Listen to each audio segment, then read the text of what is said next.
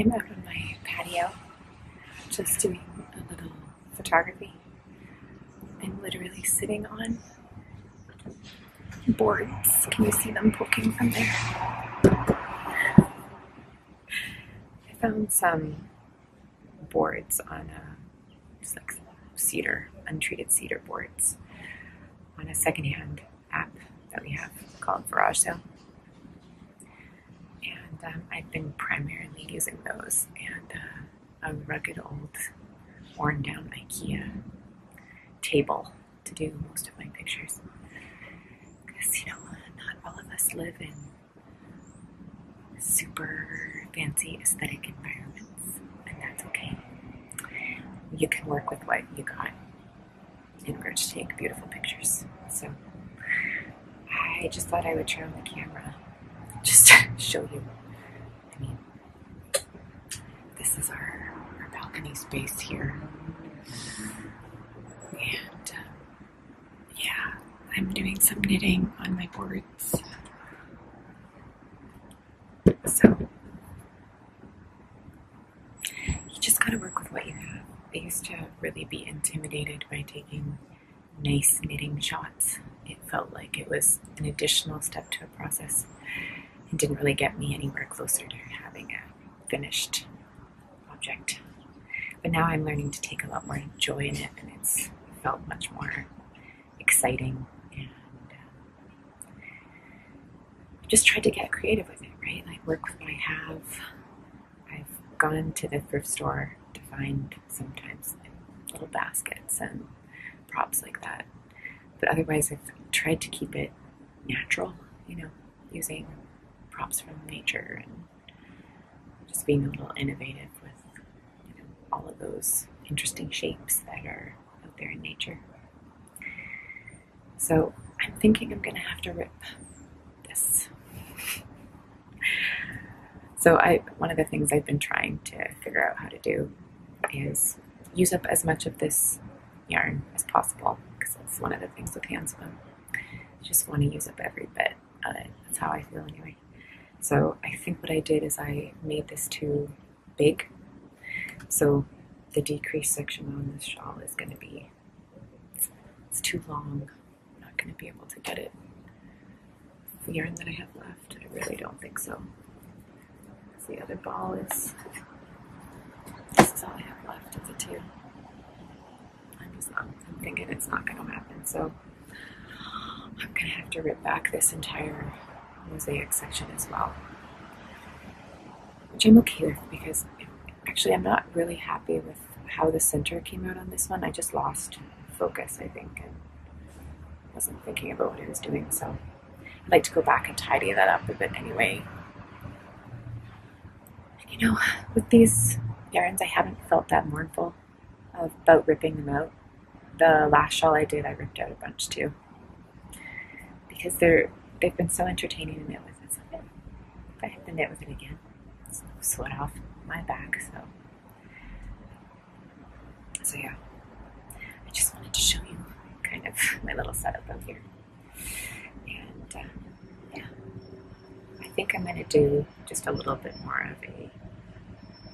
I don't know if I'm gonna do a vlog sort of style recording this time, where I'm you know, showing you things as I do them and stuff. I took some footage yesterday of spinning, but I might just do that this time. How I'll fill up my 15 minutes. Instead of just sitting in one place and, and talking. Might be fun to do it more. A few littler shots or something. Okay. So, I made a little unboxing video for you. I sent this kit off to Nicole from the Gentle Knitter podcast, and I thought I would show you what it looked like because this is what you can expect from all my handspun kits. So I sewed a little project bag, storage bag out of some cotton I had in my stash. And these are the 250 gram skeins that you get with a set of coordinating semi precious stitch markers.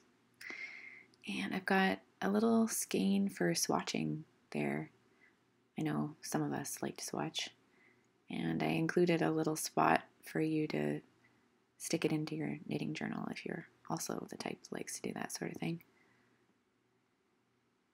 And these are some tags that I just made with some stamps I found at the thrift shop just to write more info down about where things are from and such. And this is like a little texture card so you could get a sense of what the wools felt like on their own. And lavender because I love me some lavender.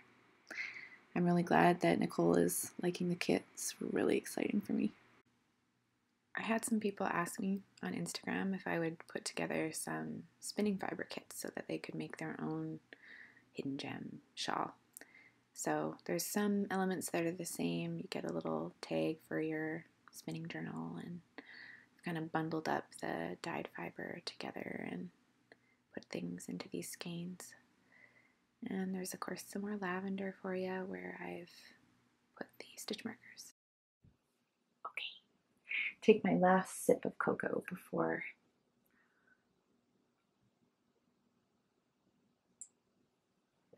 I get going because it's going to be a long one today.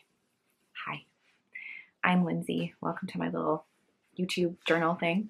I call it quarter past because I felt like the sweet spot for me with filming was about 15 minutes before I started to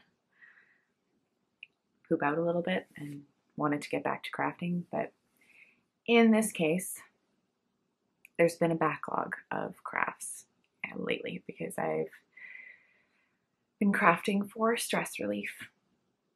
So I've been busy. and I want to get things recorded when I can. And there just hasn't been a lot of opportunity. And now there is. And so I'm going to take advantage of it. So it's not going to be 15 minutes today. This is going to be, it's my day off.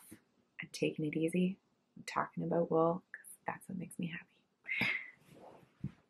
So I'm going to start off with talking about my knitting.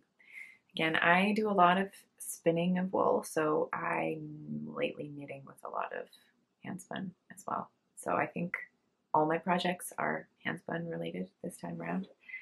And yeah, I've been having a ball. So I'll start off with something that is taking its sweet, sweet time to be finished. But that's the case with just about everything these days. And it's great because I'm working with some wools that I could take a long time doing and being very happy doing that.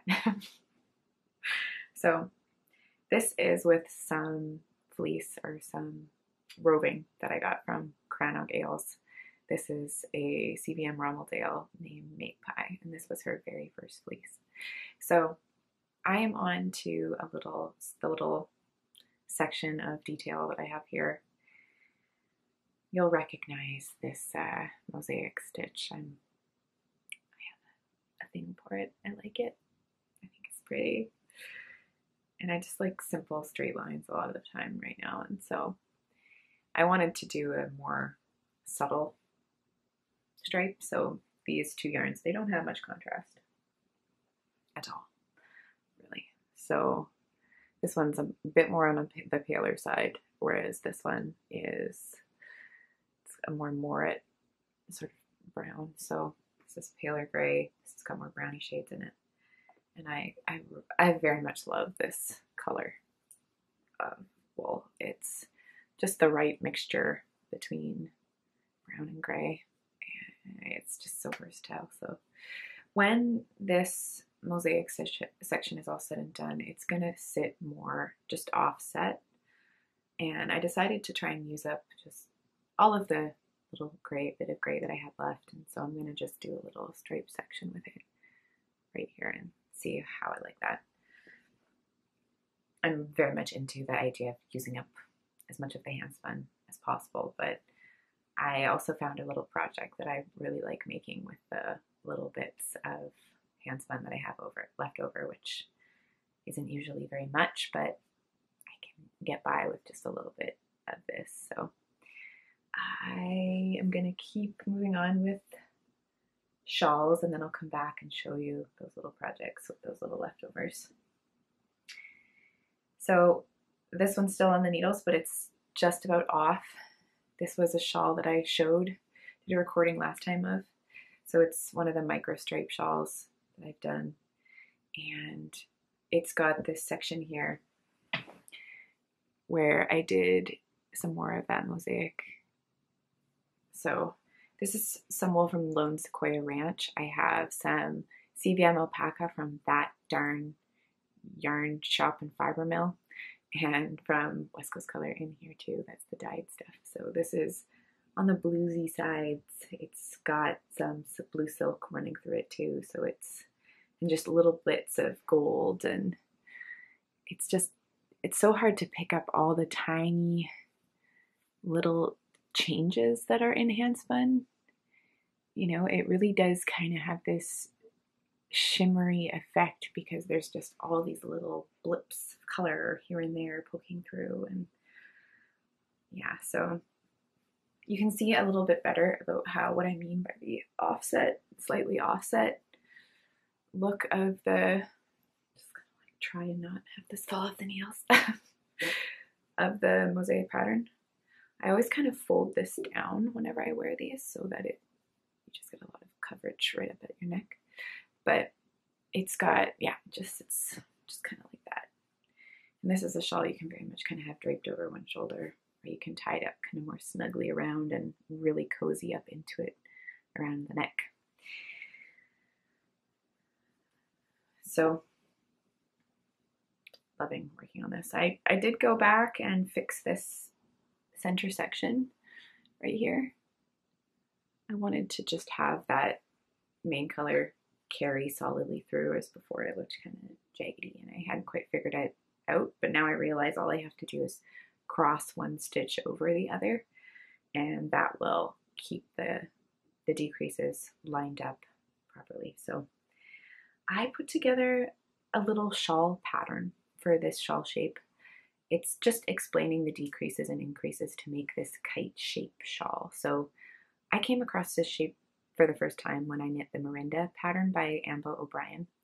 I loved that pattern so much. I made so many of them with commercial yarn, with handspun yarn, for my sister, for my mom.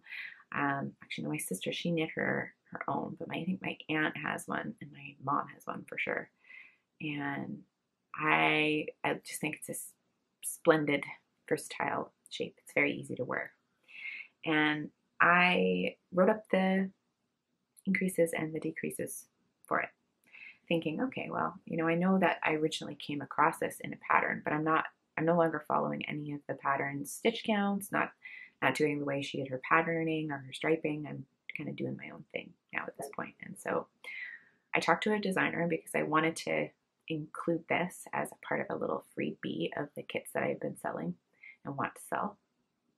And I just didn't know. I'm like, I don't, I don't want to you know, step on any toes or rob the glory from anyone else. But because I'm doing my own stitch count and I'm adding my own elements, I am just, fine to add that, just the increases and the, the decreases. I am going to do a, a more patterny pattern, which will include this mosaic section, just explaining how I did it. And I'm kind of just a fly by the seat of your pants person. So I, I really just figure out things as I go. And to a degree, I don't care if things don't line up just just so. So sometimes my edges, I'll just let you see. I don't think that looks bad. right? This one is even a bit more imprecise, but I don't know. There's nothing about it that bugs me. So I, I, just have a little bit of hesitation of calling it a pattern. You know, even I, I like calling it a recipe because it's kind of just giving you the idea of how I went about it, and it doesn't lay it out in this wonderful way the way Amber O'Brien did in her pattern. So, but it's all cool. I can add it. I'm not gonna mess with any copyrights or anything just by explaining the kite shape to people and how to make that. Nobody has monopolies really on shell shapes necessarily unless it's completely innovative like Stephen West does come up with his brand new shell shapes things like that but something that's just quite straightforward is this I think it's I hope it's okay so now I can show you a finished one of those kite shaped shells. and this one's quite large So here we are. So you see, you can see that you start down here at this tip and then you work your way up. And you do even increases with some spine decreases until you get to this point right here. And so it creates a longer, shallow shape, triangle shape shell. And here we are. And I'm probably just going to leave this on for the rest of this thing because it's so nice. So the wool in this one, it's got from some undyed Romney mohair from Disdero Ranch, which is lovely. The mohair and the Romney, it gives just the littlest, littlest bit of that kind of mohair halo, but also has that toothy texture that Romney can have. And of course, because I've plied them with much finer wools like Polworth and there's silk in there and Targhee, it it's got a great hand, right? It's it's soft. I don't feel any prickle factor, though I do feel a woolly texture. It's not slippery soft the way that merinos can be. But I like that. I like that it's not it's not what I'm used to anymore at this point. So this was another one of the micro stripe ones that I did. Same thing with this one. Sorry, I've had to record this one time over and so kind of get mixed up about what I've said or not. But with the micro stripe, what I've done is for one of the skeins I applied with a dark gray. With one of the skeins I dyed it or applied it with a, a lighter gray. So it would create just a little bit more dimension and yeah. So it you can see you can tuck all the ends pretty easily safely up under there and then it just sits and it stays there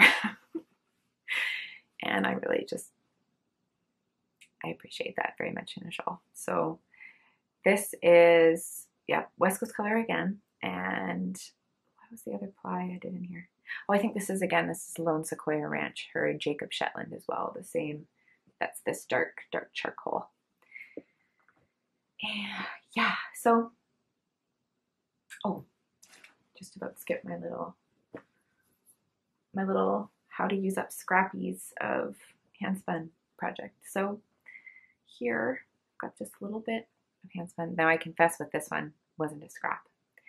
I had some roving that I had gotten from Fiber and Forge, excuse me, and it was some Gotland in this dark, dark charcoal. And I had a, just a little bit of some, this was some leftovers from an, another spin, so I applied them all together. Because a friend of ours is having a baby. and I wanted to make just a little something for their new child. And I decided I was going to make a little family of doggos. So this one here is made all with hand spun. And you can see I put, oh, there we go, some brushed alpaca silk on there for the ears, just to make them a little more fuzzy. And this is the little baby. Here you go. And who's got fluffy ears. Yeah, fluffy ears and fluffy toes. so Mama's still getting her her leg put on. But they're just slightly different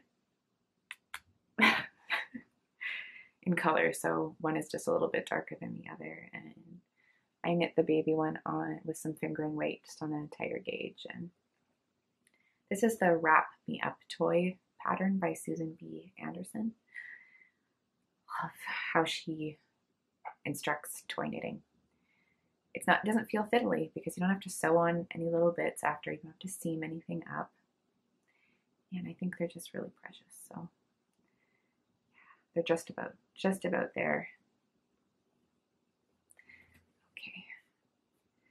I think actually I have one more handspun knitting project to show and I'm gonna gonna do this and then I think I'm gonna have to take a little break. I'm actually feeling that 15 minute mark coming up with the filming. so bizarre. Anyway,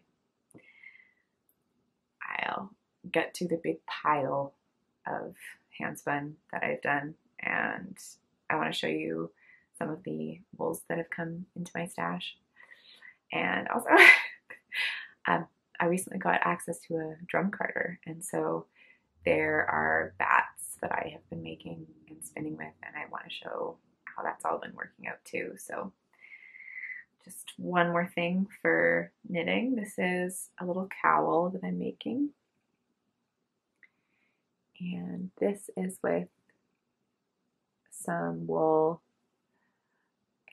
You know, I'm sorry, my I'm doing my best with the lighting that I have. This is some wool that I washed from the fleece and just flicked open the locks and spun them straight from there.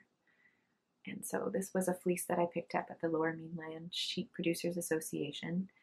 It was, I think it won second or third in its category for colored long wools. So it's a Gotland Ram- Romney Charlotte. Somebody tell me how to pronounce that sheep name. Charlotte, Charlotte, Charlas. I don't know. I love the fiber though, and this it is. It feels on the finer side, but at the same time, spinning it, it wanted to be spun just so thin, and it has this very light uh, halo to it because I'm spinning kind of everything on a more woolen style, woolen style spinning. And yeah, I'm liking that it has this very, very subtle color shifts.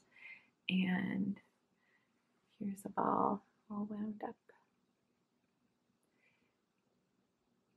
Yeah, so it's this chocolate brown with this shimmery bits of gray kind of throughout it. So brownie gray.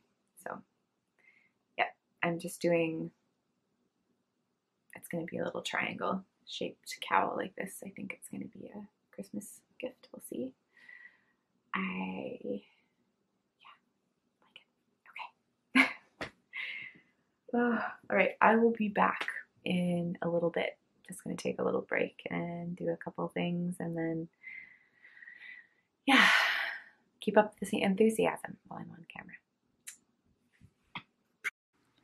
Yeah, just lost my steam, I guess.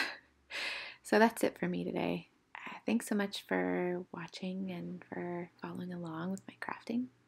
It's been really fun to do this with you all.